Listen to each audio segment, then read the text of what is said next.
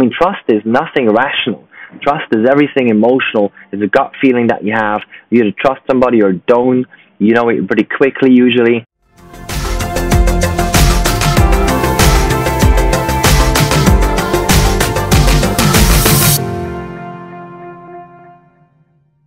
So I had a meeting yesterday with a client of ours, and we talked about the situation where we made an introduction to a decision maker that they wanted to talk to. So we set up a meeting, they had a chat, they had a great first conversation. They talked a lot about purpose behind the work that they're doing. Um, he talked a lot about um, skiing. So it was a very personal conversation there, basically. And then as soon as my client wanted to shift towards the closing, basically towards, not the closing in the sense of making a deal, but towards pitching their services and talking about business, the decision maker started to drift off and wanted to close conversation without moving any any forward. So we talked about the situation, and uh, my client asked me, "So, like, is this like a lost case?" And I said, "Well, it depends on you because how I know this decision maker, he's a very personal guy. So you need to really connect and feel and, and have him feel you before he will ever do business with you." And the decision maker um, is actually very, very Swiss. Uh, he is Swiss, but he's from a nationality, but he also his mentality is very Swiss. So I can say that I'm Swiss. We tend to be more um, reserved, basically. We're not, we're not usually the overnight decision makers. We take our time. We need to feel somebody first. We need to trust somebody very well. So in that case, he's very Swiss in that sense.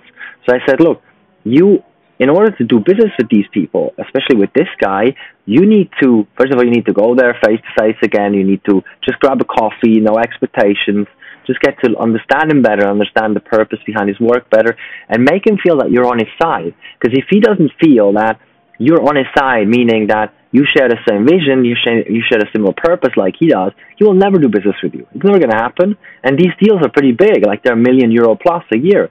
So they're relatively large deals that they're doing and in, in especially in, especially in such, such a case, there's a lot of trust that's required, and trust comes basically really. I mean, trust is nothing rational. Trust is everything emotional. It's a gut feeling that you have. You either trust somebody or don't. You know it pretty quickly usually. And trust is really all about: Do I feel that you're on my side? Do I feel that you you understand me? Do I feel like uh, do, do I feel like you get me? You understand my purpose behind what I'm doing? Do you understand the vision that I'm having? Are you on my side basically, or are you against me, so to say?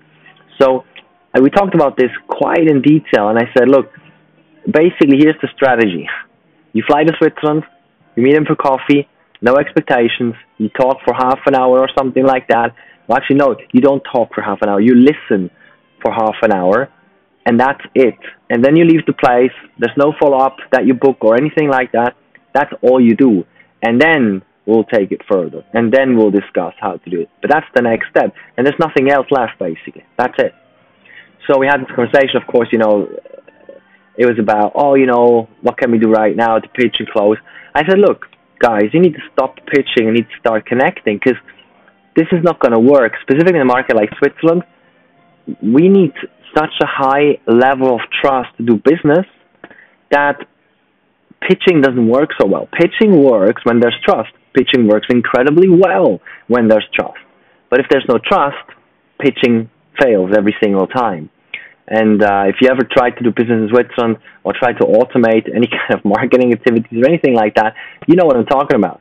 It's it's such an enormous amount of trust that is required. So make sure you do your homework. Make sure you put in the care.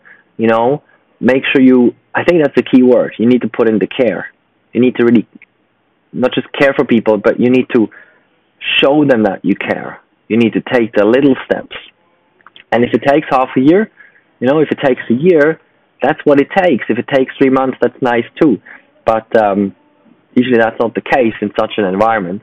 So, to, uh, you know, my my suggestion to you in, in such a situation would be basically focus on the personal relationship, forget business, um, and look at look at it in, in, in a way of saying, I'm going to focus on building trust. I'm going to focus on building a relationship. If business comes out of it, that's a benefit. But the thing is here, business is not the only thing that can look out of this. You know, we usually in sales we're thinking about okay, so there's a prospect, we can do business with them, we can close deals with them, and that's it, right? But there's the opportunity is so much greater. So this this this decision maker is working basically at a relatively high level at a very big company, and it's only one department out of I don't know how many that they could do business with basically. So even if they never did business with this guy, they could do business in all the other departments if this guy trusted them fully and just simply made introductions. So like direct sales is not the only thing that's in there. There's a lot more you can do. And you know, smart people understand that it's not about a one-off shot in a company like that. It's about infiltrating basically an organization and becoming a virus that spreads throughout the entire organization.